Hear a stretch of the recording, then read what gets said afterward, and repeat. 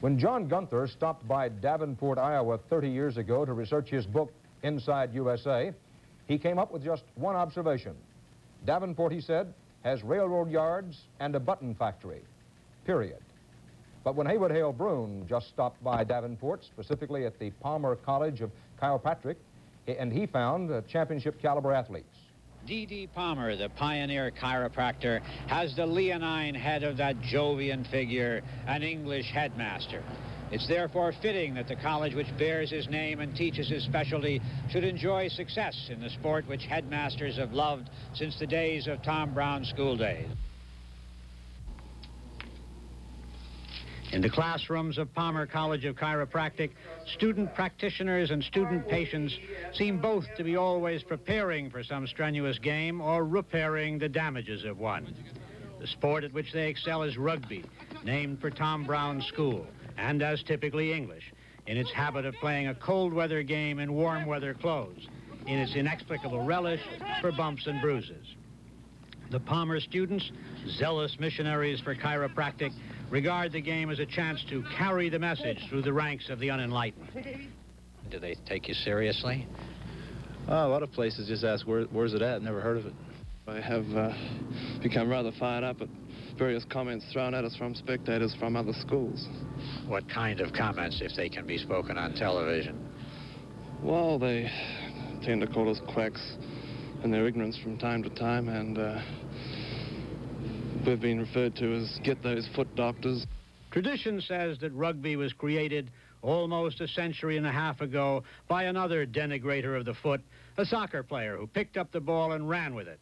And as played by Palmer against the University of Michigan last weekend, it hasn't varied much from its first rules, still being a swirling game in which what looks like an American football with mumps may be kicked, carried, or passed sideways or backwards to the end of a try or touchdown worth four points or a sort of field goal worth three.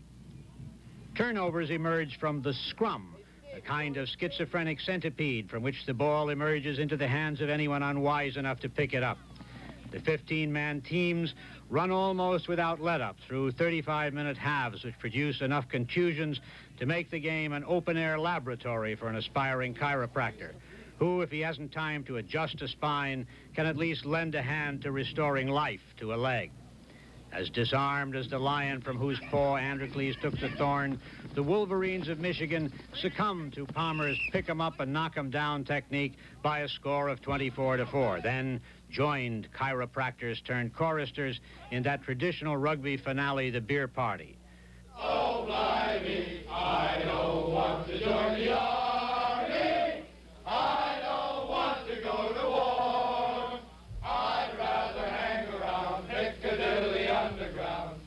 Palmer pushed on the next day to Michigan State, and the game in what is described as perfect rugby weather, a cool drizzle, the kind of day the country of origin produces in profusion.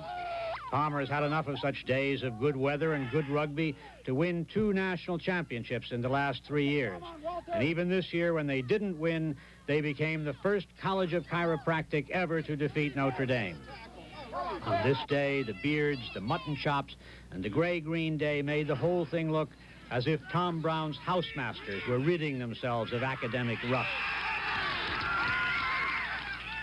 A chiropractor's hands are his instruments, but like a violinist given an oboe, a spinal adjuster given a bandage is inclined to create a dressing that seems more to have been thrown on than fastened on.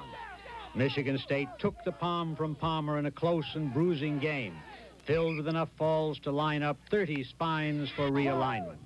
To American football fans used to the extensive armor of our behemoths, this carnage in underwear has an air of glorious madness. Afterwards, looking like a retreating army, winners and losers lined up for another rugby tradition, a double gauntlet of handshakes in the best tradition of well played, old man.